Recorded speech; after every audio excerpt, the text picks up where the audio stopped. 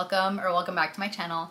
Today's video is going to be a reading vlog, my first reading vlog for 2024 and it's going to be for the first two books that I'm reading for this year and that is Divine Rivals and Ruthless Vows.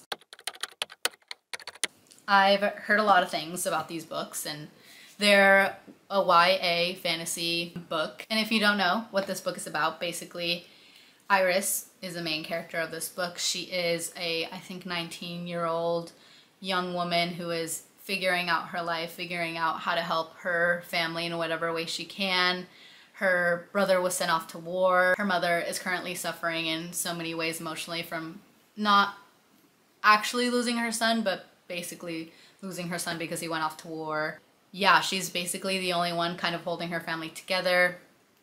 She is grew up poor, doesn't have many resources in life, but she's an incredible writer. So she works for the local newspaper and she ha happens to have a rival at work. They are both attempting to gain a high position at work and it happens to be the same position. So obviously they're competing against one another. They're both extremely talented writers and they kind of just hate each other for it. You know, they're always keeping each other on their toes, always just bickering and whatnot at work. And she goes through a lot of really crazy things in her life when his life somewhat remains completely stable because he grew up with money. He has both of his parents, you know, he's got resources and everything has kind of been served to him on a silver platter. So she also resents him for that. Yeah, they end up having two magical typewriters that connects them. One of them doesn't know it's them and then the other does know that it's them. So there is kind of that secrecy behind that that they're sending anonymous anonymous letters and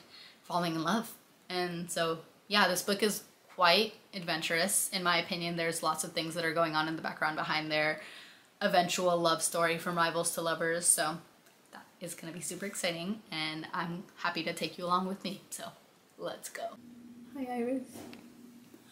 I'm about to go work out and the warm up for my workout I usually just like walk on the treadmill for like 20 30 minutes and I thought a good way to get some reading in since I usually walk at like a pretty slow pace. It's between like a 2.5 and 3 miles per hour. I'm gonna read on my Kindle while I walk for my warm up. So I can get some reading in, It could be nice, and like a Kindle so portable and yeah, so excited. See you guys later.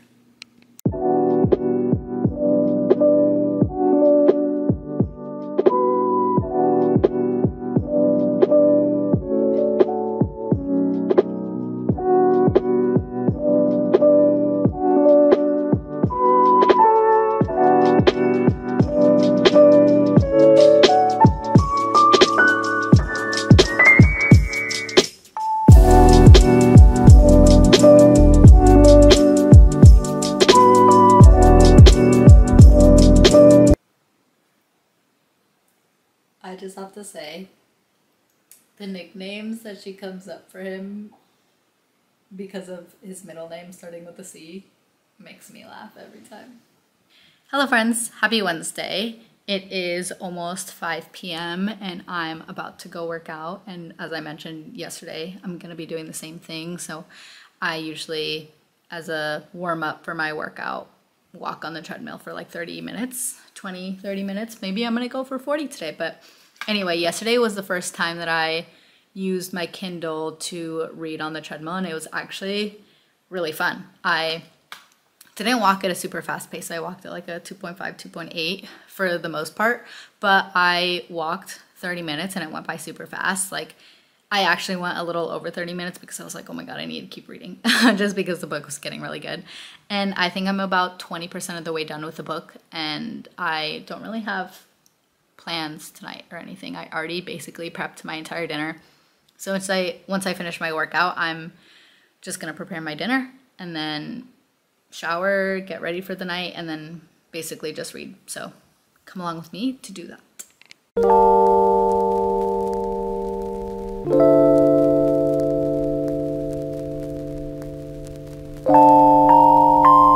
I'm almost at 30% of the way through the book. So yeah, making good progress. I hope to finish it by the end of the day Friday. Then I think I'm getting Ruthless Vows in the mail tomorrow, hopefully, if not latest by Friday, so I can start reading it either then or on Saturday and then finish possibly over the weekend, but who knows. So, yeah, that's exciting. Let's get to reading.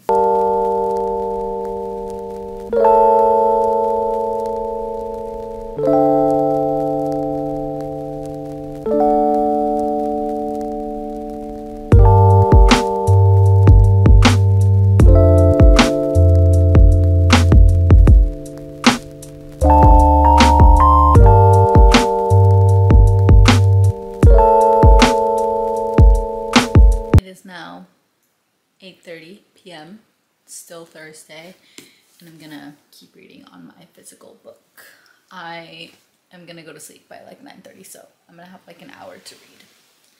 So, hey Iris.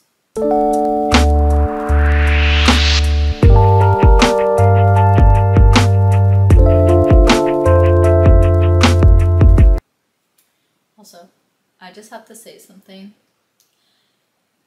when in the book it's describing like the town near where the war is and how it's described. Does it remind anyone else of the setting of a quiet place?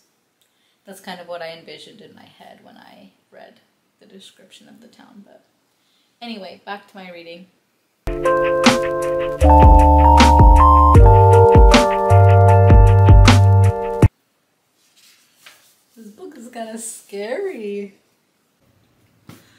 Hey, happy Friday.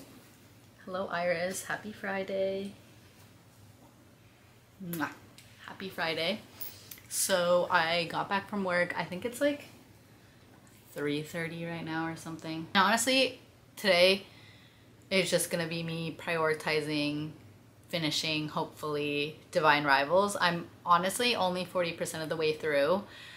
I like it so far. I don't love it. I do appreciate the description on the background of the war that's going on. I really think that like the background on like the myth of the gods and everything is really cool and I like those stories to be honest because I think like mythology is cool like even if that stuff isn't something that we recognize in our I guess own history and society it's like just cool to learn about. And yeah, I like that so far, but to be honest, I feel like the building of their relationship now is almost non-existent. There's definitely stuff there, but it's not as much as I was expecting. But to be fair, I'm still only 40% of the way through, I mean, but considering that's almost halfway done, there's not much going on. But anyway, I'm still enjoying it. No, not a love, it's a like. So yeah, I'm just gonna focus on reading it today and hopefully I could finish the last 60% of the book. And then tomorrow I can hopefully start Ruthless Vows and potentially finish by Sunday or Monday.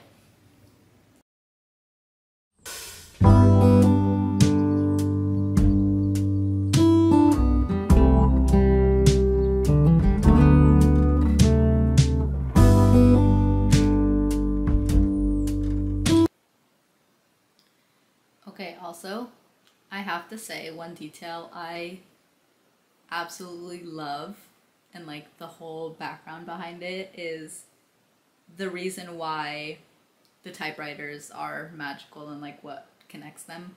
I just love that whole little story and detail. So.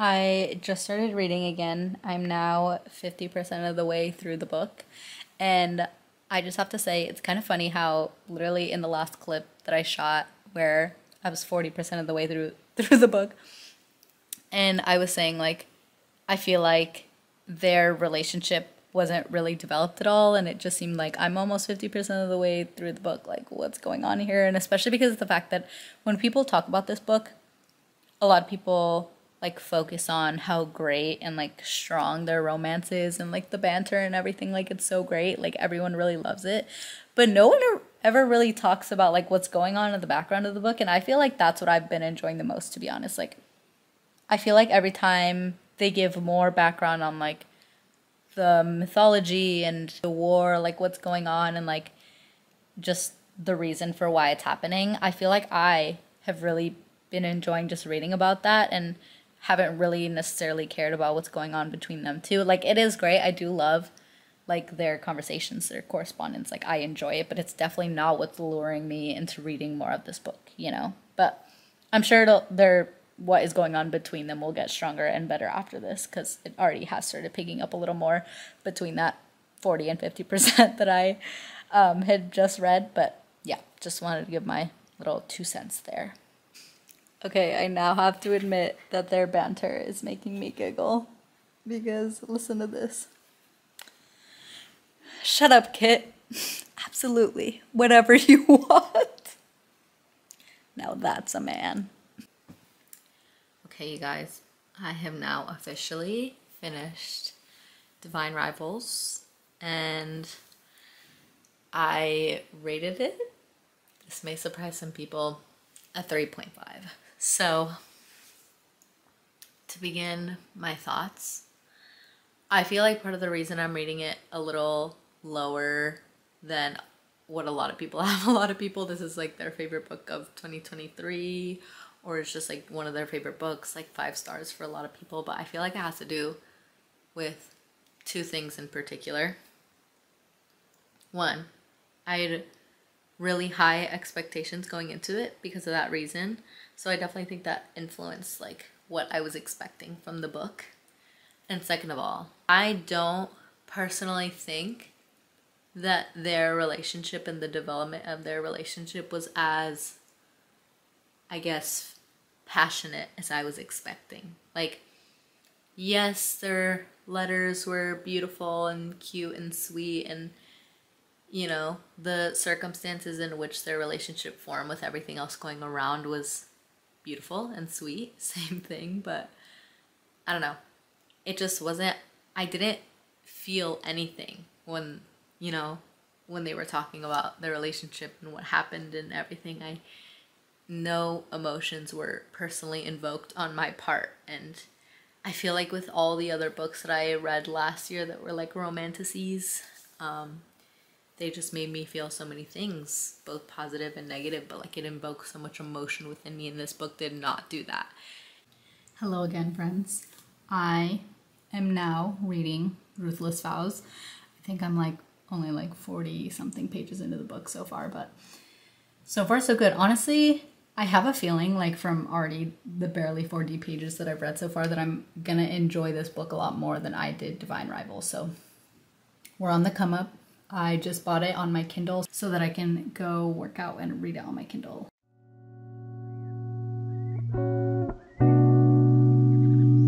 Hello, friends. Happy Saturday. It's been quite a while since I've last updated you, and I am now officially over 50% of the way done with Ruthless Vows. I'm hoping to either finish tonight or tomorrow morning and then upload this video by Sunday night. So that's really exciting. I have to say. So my thoughts so far. Honestly, the beginning of Ruthless Vows, I kind of somewhat had the same feelings. Like, you know, personally didn't feel like their relationship, their banter, their romance was as passionate as I was hoping and I was thoroughly enjoying like the background, what was going on, the history, the story, the war, the gods, like everything going on. I was enjoying. It was, you know, heart-wrenching in a way, but certainly didn't invoke as much of of a strong feeling as a lot of other books do for me. But I do have to say, now that I'm 50% of the way through, I definitely feel like I feel more of a stronger connection to the book. So with everything that they've been through, just with, so I have to say, this is now where the spoilers begin. So if you have not read Ruthless Vows, if you don't plan on reading it anytime soon and don't want any spoilers, this is your chance to leave and just stop watching here because there are gonna be spoilers. So I'm gonna wait like 10 seconds for you to leave.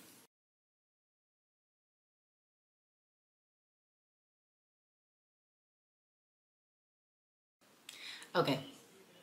I hope you're gone by now if you don't want to see spoiler or if you don't want to hear spoilers. So I think with what happened at the end of Divine Rivals, where Kitt was taken by Dacre, he almost died, he was saved, and Forest was saving Iris. So, first of all, I was kind of a little upset with the fact that I feel like Iris didn't really fight harder for Kitt. Like, if she loved him that much, like, they literally just got married. Like, one, she didn't fight harder, and also, like, she didn't seem as distraught as I feel like I would have been if the love of my life slash my husband was being taken away, or I thought he was dead. So, anyway, I was just a little upset at that. But as time went on, I feel like everything that was happening was definitely invoking more of an emotion for me, just like feeling her feelings in a way of being upset that he didn't remember her and everything that was happening. And I feel like their banter after that definitely started feeling like more like I started feeling I feel like what people were feeling with Divine Rivals, you know what I mean? And so I'm definitely enjoying the book a lot more. I think their banter is even better in this one. And the things that he says once he starts remembering her are like literally so sweet. I'm just like, oh my god. And like I, I have so many like little sections highlighted that I'm gonna find for you. Okay, so I'm gonna read to you some of the things that I highlighted in the book that I thought were just like, yes. Okay, so chapter 14, Hunger, page 118. I highlighted, Dear E, the problem is, I want to hear from you at all hours. I want to read your words. I'm greedy for them. I'm hungry for them. And this is before he starts to remember Iris. So it's just like, you know, the things that he says and the, the way that he feels for her. I get that. Chapter 25, Outshine once again, page 184. Dear Iris, should I be surprised? And this is after he remembers her. Should I be surprised that I was falling in love with you a second time? Should I be surprised that your words found me here, even in the darkness? That I've been carrying your e-letters close to my heart like they are a shield to protect me? I know we are no longer rivals, but if we are keeping tally like the old days, you have far outshine me with your wit and your courage, which reminds me of one, of, one simple thing, how I love to lose to you. How I love to read your words and hear the thoughts that sharpen your mind and how I would love to be on my knees before you now, surrendering to you and you alone. Last one, page 235. No, he shut down the thought. He wouldn't change a thing, because if he could, would the two of them still be here, bound together by vow and trial and love that crept up on him like ivy on stone? Crazy. Thinking about it, it definitely is. I think I'm feeling more his love for her rather than her love for him. Just how he feels about her and how strongly he feels a connection towards her, even when he didn't remember her as much. But anyway, as you can tell, I'm definitely enjoying this a lot more than Divine Rivals, but I'm only about like 60% of the way through, so hopefully the next 40% really, really drives it home for me. So I will check in with you guys when I'm done. You guys, I just finished Ruthless Vows. It is now Sunday morning. I kind of look like a mess right now. I just got on my workout clothes. I'm not wearing any makeup. I'm about to go leave to go play tennis and pickleball with my friends, which is super exciting. But anyway, my thoughts. I ended up rating this book four out of five stars.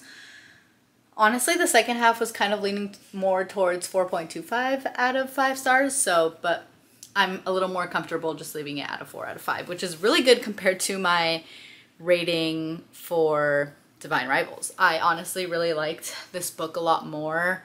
As I was mentioning before, I just definitely felt a lot more of a connection to their relationship and like how strongly both felt for each other, especially him for her. Like, I just loved it a lot more. And everything towards the end was like so much more heart wrenching. Like, I truly felt more of a connection to every single character in the book rather than like in the beginning. I just I don't know, I never really felt much for anyone previously, but I have to say the ending was both heart-wrenching in a sad and happy way.